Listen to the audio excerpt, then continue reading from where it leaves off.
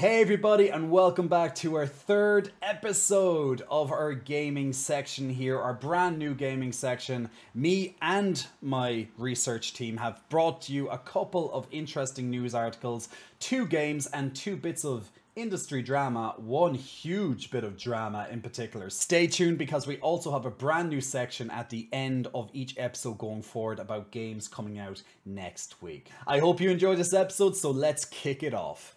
In a two-part DLC, we begin on a school trip to Kitakami and introduce a few new characters and annoying rivals. The dialogue is as boring and bland as ever. The DLC is quite short with main quest taking around 3 hours if you focus on it, with some side quests along the way for good measure. The Pokedex for this region caps out at 200, with 100 of these Pokemon being from the Paldea region. Nearly all of the others are from previous generations. A lot of the evolves are a bit more complicated, featuring special items, stones being traded, friendships, etc. So don't expect to just level them all up with a lot of rare candies that you may have to spare. There are four new legendary Pokemon, including Okidogi, Munkidori, Fezandipiti, and Ogerpon, which has multiple forms. One good thing is that they finally fixed the speed of scrolling through Pokemon boxes so it doesn't look as if it was lagging like it was since the original base release. I don't think you need a DLC for this as it appears to be a fix. Level range of the Pokemon appearing in the new area start from around the mid 50s and work the way upwards. For some god beknownst reason, you get a selfie stick for taking selfies for your floating Rotom phone. Once again, your floating phone needs a selfie stick. Which makes no sense, and I've ranted enough on my stream about that already. You also get a new selection of uniforms and customizations for your character early in the storyline, a new mini-game which varies in difficulty to get a shiny Munchlax as a reward in the end if you do complete the hardest level. There's also a new team like Team Star in the base game. These are called Ogre Clan, featuring trainers with semi-competitive teams in the 70s. You can now filter learnable TMs at the TM machines, including many TMs to Violet and Scarlet, most of which can be picked up on the ground. It's an okay DLC for what it is, and it is a one of two parts, so here's hoping part two might be a little bit more spicy. But as a gaming experience, it's subpar, just like pretty much whatever the Pokemon Company seems to deliver to us. A subpar gaming experience at the very least. Is it worth $35? Half of the cost of the base game? Absolutely not. Unless, of course, you are a die-hard Pokemon mega fan. Mm. Now, next up is a little bit of industry drama for our favourite PlayStation, but um, I'm not quite sure where to go with this particular one. Let's look on, shall we? Currently set to release on November 15th after being announced at the PlayStation Showcase earlier this year. Current pre-order cost is $200, making it the lowest of all the current cloud gaming handheld devices such as the Switch and Steam Deck. An 8-inch screen, which is a fine screen size and 1 inch larger than the Steam Deck. A 1080p resolution with 60Hz frame refresh rate, which should provide a clear and crisp gaming experience. Android OS with easy to use interface, access to streaming cloud gaming requiring no internal game storage. And that's kind of where the positives end for this one, realistically. And it's as if they sliced a PlayStation 5 controller in half and glued it together onto an 8 inch screen. The Portal has no internal storage and runs entirely by remote play from your PlayStation 5 over Wi-Fi networks. Technically, you can use this outdoors as long as your PlayStation is turned on and you have a good Wi-Fi in transit or in a hotel you may be staying at. Yeah, right. Good luck with that one.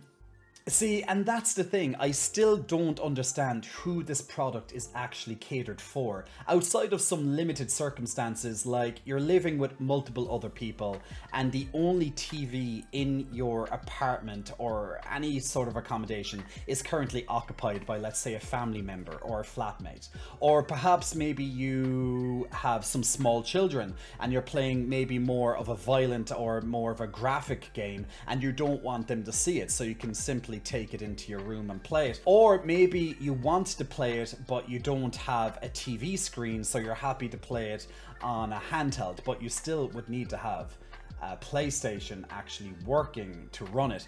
But the thing is, you can still do this all for free with the app. The only difference is you're literally buying a screen. It's not as if you can download other games onto it as if it was a Switch or a Steam Deck. I don't quite know what PlayStation's strategy was here. Quite frankly, I don't even know what they were thinking with this one. See, the thing is, it costs $200 for a remote device which you get as a free app on your mobile phone or iPad and offers many of the same benefits and still relies on your Wi-Fi to be decent to stay connected. There is no Bluetooth, so you cannot connect to wireless. It does have a PlayStation Link feature, so they can push their new PlayStation Pulse wireless headset and earbuds, but it all seems to be a needless cash grab. Battery life is estimated to be about 4 hours of consistent playtime from a full charge untethered, but this battery size was not yet finalised at the time of writing. So just to clarify, there's no offline playability. And next up we have FF7 because of course we love a good FF7 game. There's another FF7 game, another spin-off of some description on the infamous Final Fantasy VII. This is Final Fantasy VII Ever Crisis and produced by our lovely favourite developers of Square Enix, which can do no wrong. Wait, that doesn't sound right. One second, I have to consult with my script. Ah. Okay, it does appear that, yes, Square Enix can do us wrong, and let's explain why.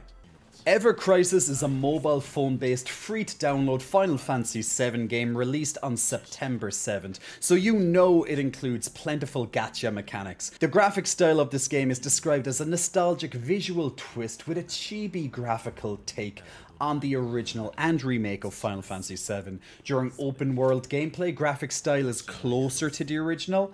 During combat gameplay, it's closer to the remake. The game features storyline from all over the FF7 compilation timeline, including Zack's life as a soldier, Cloud and the gang's original OG adventure, Vincent's story circa Dirge of Cerberus, parts of Advent Children, and even the other smaller spin offs. But it will also include an all new additional storyline into the First Soldier and Soldier Project Zero story, which have been heavily featured in trailers and teasers for this release. This part of the game will focus on three soldiers, which are all part of the Soldier Project Zero. It will also feature the crowd favourite, Sephiroth, one of gaming's most iconic characters as a young soldier. Getting back to the gacha mechanics, this game will feature loot boxes and special weapons available for purchase because we just love loot boxes. We just love gacha mechanics. Do you need more gacha to getcha? To gotcha?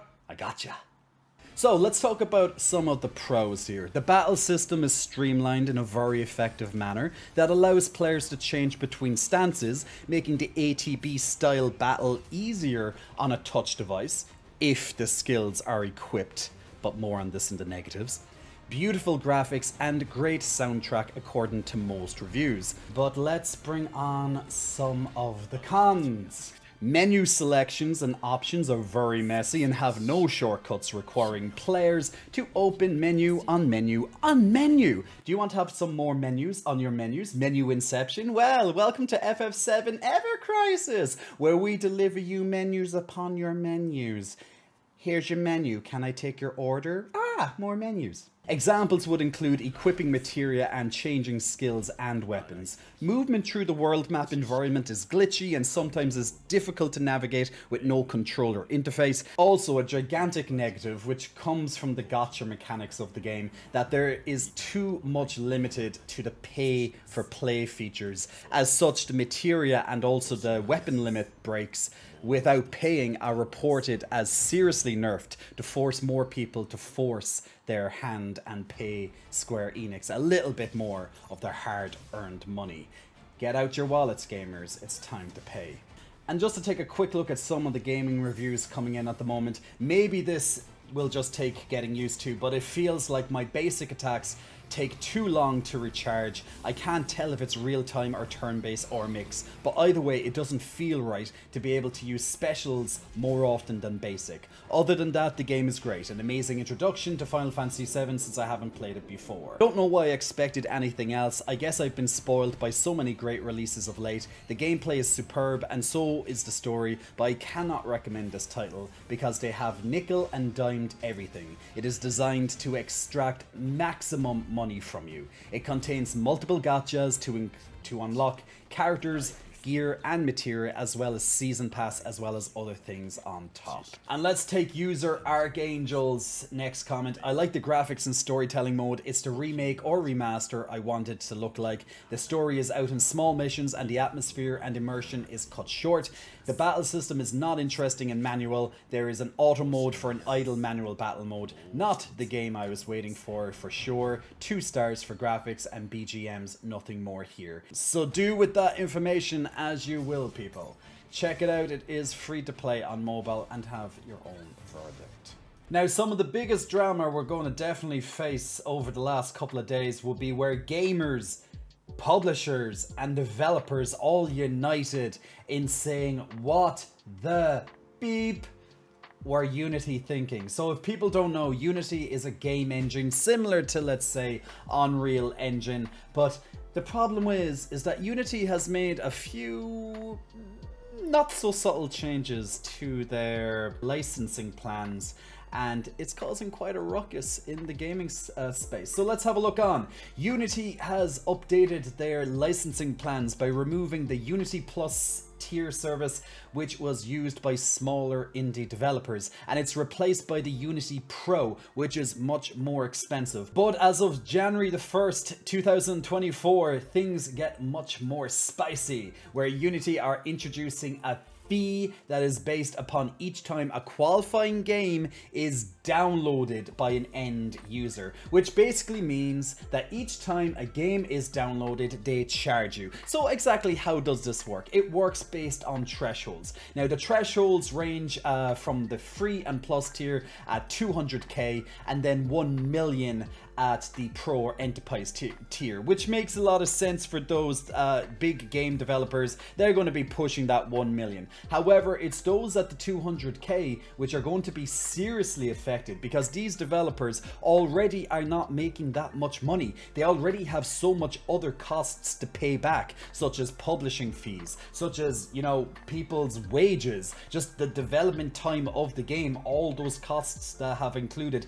And now you're going to have Unity having a major price increase, which could add on tens of thousands extra. And if you're just starting up and you're starting to get your first little bit of cash incoming from a game, if the game is any bit successful at all, you're not going to most likely see a penny for a very long time. And remember guys, revenue does not mean profit. So let's just say for argument's sake, let's say the bill is due you just made 200,000 you have to first consider your publisher, then you're going to start uh, considering Unity, and that's already considering all the costs you've already associated in just building up this game, such as wage costs, paying for the electricity, etc., all that stuff.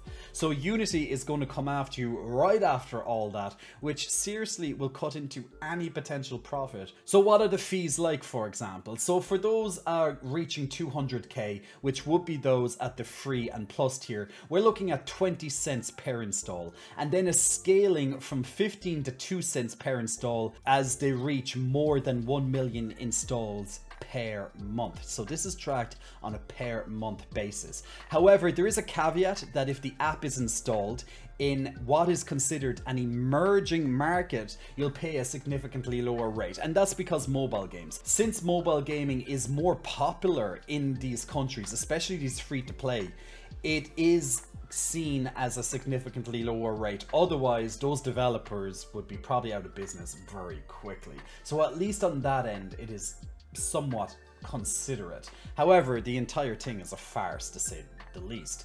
You can also get credits to reduce the cost of your bill if you decide to put on Unity's extra tools such as adverts Great, right? If a game is making a lot of dosh at the moment, they're getting a lot of installs, it might make more sense to delist the game so it's no longer available to be downloaded just to prevent this uh, incurring cost which kind of makes a lot of publishers or will make a lot of publishers nervous uh, going forward and game developers as well. So it's going to affect both sides.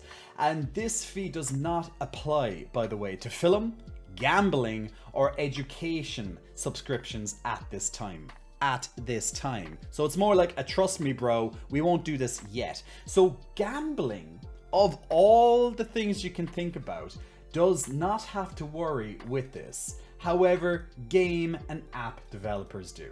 That sounds fair, doesn't it? That sounds so fair. And according to Unity, these aren't even one-on-one hard numbers. This is just going to be an estimate on what they're stating. Unity also noted that demos won't count, and that's demos only if it's not on the same if it's not on the same build as what's out and then that also begs the question what about those those weekends that you may see every so often come free and join in on this game for this free weekend all those installs now will also start to cost. That's going to start costing you potentially tens of thousands, if not hundreds of thousands. They did note that web and streaming games will count, reinstalls won't count, but the thing is, is how does Unity know? How does this software that they'll have installed know if it is a reinstall? And also, if you install the game on multiple different devices, that will also cost. So technically, you could download a game for free on your first mobile device, but then you decide to upgrade, or maybe you have two mobile devices, that's going to be one cost per each install for that publisher, that, that developer. So I don't know how they're going to track that reinstalls won't count. As a publisher, they're going to have to consider this new potential cost, which makes them possibly not want to go and help smaller indie developers right now because the cost to them could be exponential. And if we take another major developer of a game such as Epic Games, who as you may know are the creators of Unreal Engine as I mentioned already, so their editor is free. Basically what it seems to be for Epic and Unreal Engine in this case is that we know it takes time to build money. We know it takes time to build up your customer base. So we're not going to touch you. We're not going to charge you until you get to a comfortable position because we know that once you make money, we will make money. And that's when once you have made your first million, that's when we're going to start charging you our 5% which is completely fair because once you make money, we make money, we're all happy. Everybody makes money. And some other game engines are chiming in on this one. Easiest marketing they're ever going to get. Want to build games for HTML5, Android, iOS, Windows, Linux, etc.? Yes, go to Defold engine. Up upfront cost zero, licensing fee zero, royalty fee zero. So with just a couple of these examples here, you can see that there are developers of game engines out there who aren't there to just simply nickel and dime you.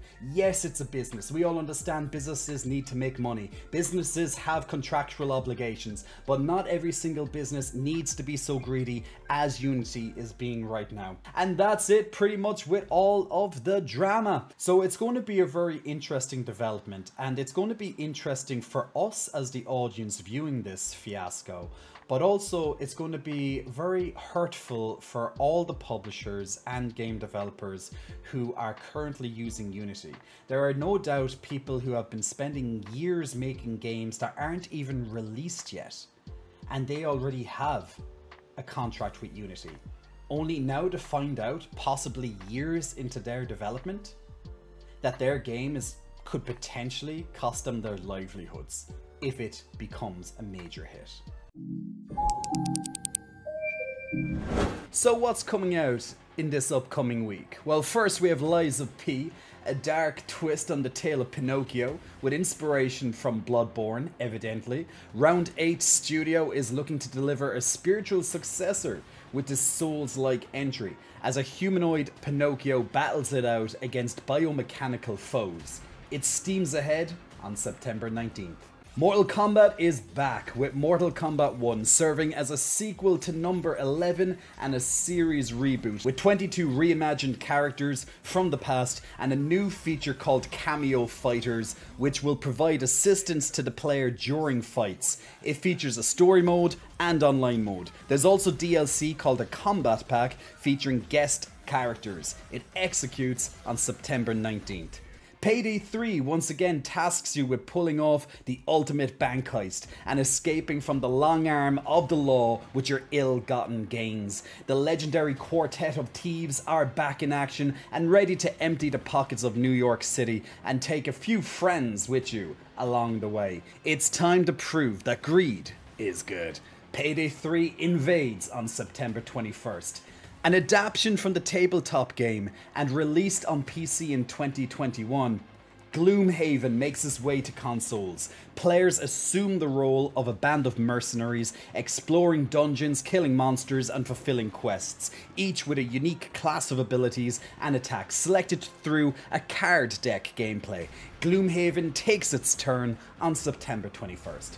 And finally, another 21st release, the iconic Resident Evil 4 Capcom team have added the infamous Separate Ways playthrough, where you take charge of Ada Wong and see her side of the story to fill in numerous gaps. It will be interesting to see what's different versus the original. Separate Ways infects us on September 21st.